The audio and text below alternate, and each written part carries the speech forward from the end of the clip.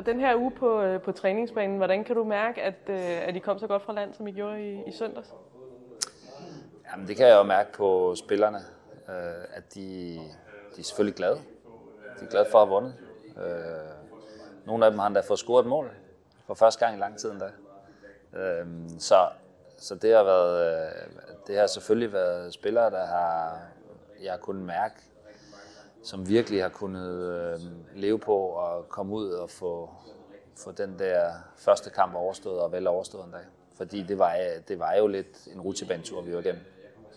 Ja, altså hvad, øh, hvad, for, var, var du lidt, eller hvad for en fornemmelse gik du til pause med? Fordi på 10 minutter får du jo måske ændret det, du tænker, du skal ned og, og sige og gøre. Ja. Jeg, jeg var sådan lidt desillusioneret, fordi Jamen, det tror jeg jo, vi var. Og det var jo ikke sådan, at jeg, jeg var sådan upåvirket af, hvordan kampen lige har svinget rundt til deres fordel. Fordi jeg troede jo, jeg skulle ned og fortælle lidt om, øh, om nogle ting, vi havde lavet i første halvleg, der havde givet os en fordel i kampen. Øh, nu stod vi lige pludselig og var bagefter og skulle jage noget. Øh, det var ikke sådan, at jeg skulle sige, at vi skulle gøre en masse om, fordi mange af de ting, vi gjorde i første halvleg, det var dem, vi skulle prøve at, at gøre igen. Men, men pludselig så ændrer kampbilledet sig resultatmæssigt på en måde, som, hvor vi, hvor vi skal til måske at jage noget mere, hvor tiden går imod os, i stedet for at gå med os osv. Så, videre. så derfor så, øh, så var det jo lidt en anderledes pause, end jeg troede, jeg skulle ned og holde øh, 5 minutter før. Så det var, altså vi var selvfølgelig lidt rystet, og, men, men igen, det gælder om ikke at blive grebet af, af momentet alene, fordi vi havde jo gjort et rigtig godt forarbejde også til at kunne få en, et overtag til sidst. Horsens havde arbejdet hårdt uden bolden, og, og vi har flyttet dem godt rundt på banen, og derfor så havde jeg også en fornemmelse af, at vi kunne godt, vi kunne godt til sidst øh, få et stort overtag, og det endte vi så også med at få. Hvad var du allermest tilfreds med i søndags? Øhm, der var nogle ting. Udtrykket. Jeg synes, vi kommer ud og leverer et øh, indtryk af, at vi godt vil tage initiativet i kampen, at vi godt tør spille op på banen åbner os lidt, men, men at vi godt vil spille øh, fremadrettet mod deres mål. Øh, jeg er jo glad for den mængde chancer, vi fik skabt, for det var mange. Øh, det kan man ikke altid være sikker på mod et virkelig godt organiseret Horsens hold, der spiller også med, med tre stopper og to dygtige vingbaks og godt organiseret defensivt. Det er ikke så tit, man kan producere så mange chancer der.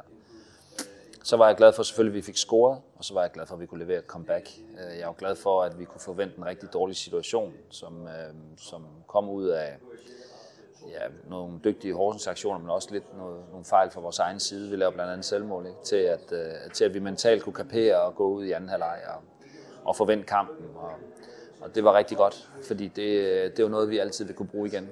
Øh, give os selv troen på, at, øh, at det vil vi kunne gøre en anden gang også. Nogle af spillerne talte efter kampen om det her med, at der ligesom er blevet opbygget en eller anden form for vinderkultur i, øh, i holdet. Er det sådan også beviset på, at øh, når nogle gange nogen taler om, at træningskampe ikke kan bruges til noget som helst, så er det, så er det løgn? Fordi I har vel brugt dem godt her? Altså, det er løgn.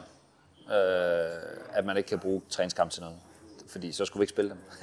men, øh, men altså, det er rigtigt, at i træningskampe med resultatet, hvad skal man sige, det at du ikke bringer resultatet videre i noget, det gør, at, at det, det gør, at du kan agere anderledes, og man agerer ofte anderledes der. Der bliver ofte foretaget flere udskiftninger end normalt. Der, der er nogle ting, der går forud for selve resultatet i forhold til, hvor man er henne og så videre. Men det er også rigtigt, at, øh, at når jeg aflyser en træningskamp mod Næstved, så er det også fordi, jeg rent faktisk mener, at vi skal bruge kampene til noget. Og, øh, og så er det fordi, jeg vil lægge vægt på, at det vi foretager os i kampene, det er noget, vi kan tage med videre. Og jeg ved ikke, jeg synes, det er for tidligt at sige, at der er blevet opbygget en vinderkultur, men jeg synes, at der er en god tro på, at vi i nogle kampe nu her, og det har vi ikke gjort bevidst, vil jeg godt sige, er kommet bagud, og så alligevel formået at komme tilbage og, og vinde alligevel. Altså, og det er klart, at, at der kan vi altid holde det op mod hinanden og sige, lad nu være med at være i, være i panik her. Vi ved, hvad vi skal gøre. Vi ved, at vi kan og, øh, og, det er det, vi, øh, og det er det, vi skal gå ud og, og prøve at blive ved med. Og så kan det godt være, at vi nogle gange ikke lykkes. Øh, det skulle ikke undre mig en dag, men, øh, men sådan der kommer, er det. Der kommer nok en dag. Men sådan er det. Ja. Men øh, kan, du, kan du sætte lidt ord på, øh, altså nogle af de spillere, der har fået rigtig meget ros efter den her Horsens kamp, det er selvfølgelig Nikolaj Valli, som scorede tre mål. Øh, ja. Og så er det Mathias Greve. Kan du prøve at sætte lidt ord på, øh, på de to? Det kan jeg godt. Altså Nikolaj Wallis er jo en spiller, som jeg tror, de fleste øh, øh, synes er en profil i den her liga her. Øh, og øh, det er også en spiller, som, som selvfølgelig af flere årsager måske ikke havde den nemmeste start i Brøndby. Øh, men det er, det er en spiller, som vi jo ved har en, en rigtig god kvalitet øh, med bolden. Han er sikker i vores opbygningsspil. Derudover så kan han være assistspiller, øh, fordi han har et godt øje for de andre. Øh, han kan accelerere spillet med sine pasninger, øh, og så kan han samtidig afslutte. I virkeligheden var Wallis ikke den mest involverede spiller forleden dag, øh, mindre end normalt, øh, hvilket ikke er vores, øh, heller er vores ønske. Øh, men han ender så med at komme i afslutterens rolle. Og jeg er meget tilfreds med, med hans ageren også øh, inde på banen, også hans hjælp til holdkammeraterne og hans måde at blende ind med de andre på. Øh, faktisk i en kamp, hvor han ikke er så involveret, som han også gerne selv vil. Øh, men øh, jeg er sikker på, at han, øh, han er okay efter kampen også. Mathias Greve var, var rigtig sådan. meget involveret til gengæld. Ja, Greve øh, synes jeg har jeg stor ros til overs for, fordi jeg kan ikke forestille mig, hvilken uge han har været igennem op til kampen.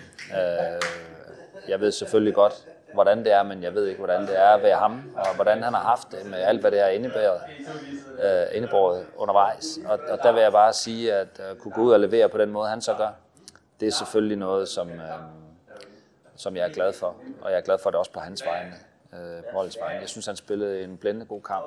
Han har igennem hele opstarten vist, også på træningsbanen og i kampene, at han er, at han er en spiller, der er ved at udvikle sig til at være en vigtig spiller for holdet. Øh, en spiller, der hæver niveauet på vores spil. Og det fik han i den grad også vist her i søndag, så det er jeg glad for. Ja. Og så øh, skal I til Midtjylland på øh, mandag. Ja. Hvis, man, hvis du kan overhovedet forudsige lidt, hvad, hvad, hvad for en type fodboldkamp tror du, det bliver det her? Oh. Ja, men jeg ved godt, hvilken type fodboldkamp. Viborg, så, ja, jeg de ikke ved godt, hvilken... så meget, for eksempel. Det overraskede mig lidt, at de ikke havde så meget bolden mod Viborg, for eksempel.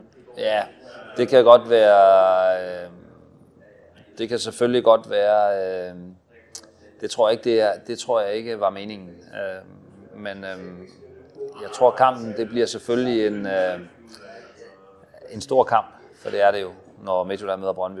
Øh, det bliver en kamp med, med mange gode spillere på banen, hvor man kan forvente, at der bliver mulighed for at se nogen, der laver noget ekstraordinært. Øh, og så håber jeg, tror jeg på, at det bliver en kamp, hvor vi igen kan vise et udtryk af, at vi, vi tør og er i stand til at tage initiativet. Og at vi øh, kommer til at spille med det mod, som der er nødvendigt at spille med sådan et sted. Øh, til at ture og åbne sig trods alt. Øh, uden at være naiv på nogen måde. Men, øh, men hvor vi har kontrol med det. Øh, så, øh, og at vi tør angribe dem, for det skal vi gøre. Ja, så det er ikke sådan, at vi kommer til at se et helt andet øh, udtryk og udgangspunkt, end det vi så i søndag? Det vil i hvert fald ikke være udgangspunktet. Øh, Det kan godt være, at vi taktisk gør nogle knep selvfølgelig, øh, og prøver at gribe det an på den måde, men, øh, men det vil ikke være udgangspunktet, at vores tilgang til det vil være sådan i udtryk og i initiativ anderledes. Men, øh, men nogle gange så bliver man også tvunget til at agere anderledes øh, kvæg ens modstanders kvaliteter, og det må vi så se på. Ja. Hvad skal der til for at, at vinde i Herning? der skal en god præstation til, øh, hvor spillerne øh, tør holde hovedet koldt og tør, øh, og tør stole på hinanden øh, inde på banen. Øh, der vil være tidspunkter i kampen, hvor det bliver sværere. Jamen, der skal vi ture og, og læne os op af den struktur, vi har bygget op omkring holdet, og de har bygget op omkring sig selv, og den tillid til hinanden skal de have. Øh, og så vil det være også rigtig meget tid øh, i kampen, hvor, hvor vi skal kunne udnytte, at, øh, at vi kommer til at have bolden, og vi kommer til at være det initiativrige i kampen, og, og så håber jeg selvfølgelig, at, at vi kommer til at kunne profitere af vores chancer.